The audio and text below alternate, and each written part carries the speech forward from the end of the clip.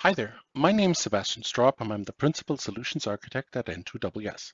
In this video, we'll talk about a feature of N2WS version 3.1, Scheduled Recovery Scenarios. Previously, recovery scenarios allowed us to create a playbook on how a recovery of an entire set of workloads should occur. This really simplifies the orchestration during a disaster recovery.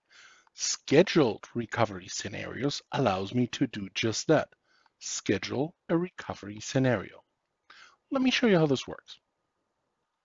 First, for our purpose, let's create a recovery scenario if you haven't already one in place. So I'm going to create a recovery scenario. This is just a friendly name. This can be anything. So I'm going to call this my SharePoint recovery. Next, I have to choose the policy that we're going to recover using this recovery policy. And that's the one that I have in mind. That's my SharePoint policy. You can also choose where this data is going to end up and the destination region. Now under recovery targets, you can now choose content of this particular policy. Now in my case, there's my SharePoint instance. So I'm going to select that add selected, and that adds it to this recovery scenario. Of course, as previously already possible, you can now make changes to that configuration as well. And we also have a dedicated video for that. But let's take a closer look now at the ability to schedule these recovery scenarios. And the way we do that is go back to the recovery scenario details and down here, this is where you can choose when we're going to schedule this recovery to occur. So I'm going to do that on my daily schedule that I have. And I have the option to either perform a dry run or an actual recovery. The vast majority of the time, you probably use that scheduled recovery for the purposes of a compliance report. Maybe every 90 days, every 180 days, I need to perform a disaster recovery. This will help with that.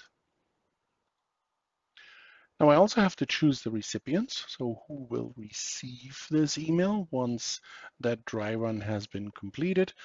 In my case, I'm going to choose myself. Now this will only work if you already configured the SES, the simple email service.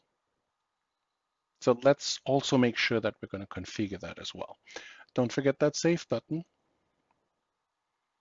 And now we're going to go up here to the settings, the server settings, and you're going to find the simple email service under this tab.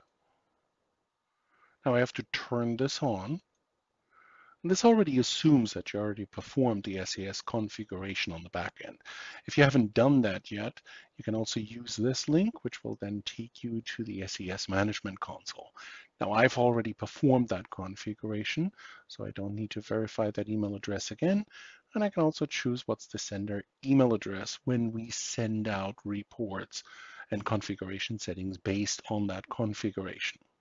So in my case, I'm going to choose myself once again.